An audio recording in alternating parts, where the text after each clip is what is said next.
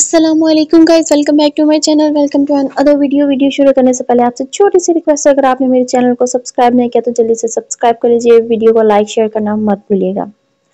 बॉलीवुड अदाकार शान शाहिद की भांजी नतालिया एक बार फिर सोशल मीडिया सार्फिन की तनकीद के जद में है और इस बार इनका सबब इनके हिंदू मजहबी त्यौहार होली के अंदाज में अपनी सालगिरह मनाना है।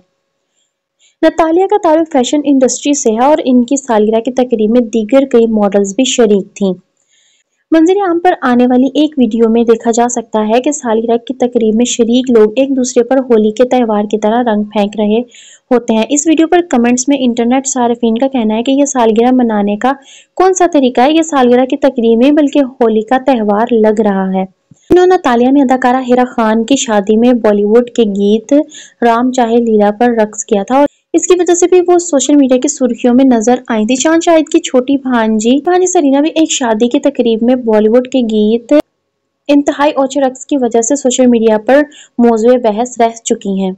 उष्णा शाह की शादी के बाद जब इनकी वीडियोस जो है सोशल मीडिया पर वायरल हुई तो लोगों ने जब इनको तनकीद का निशाना बनाया और लोगों का ये कहना था कि ये कहीं से भी पाकिस्तान, इस्लामी जमहूरिया पाकिस्तान नहीं लगता कि जिसमें ऐसे काम नहीं होते, जो कि होने चाहिए मुसलमानों वाले। ये सब काम जो है, ये हिंदुआना काम है उनकी रस्में हैं जो कि पाकिस्तानी आज कर रहे हैं। आप इस वीडियो पर क्या कहना चाहेंगे? अपनी कीमती राय से ज़रूर आगा करिएगा।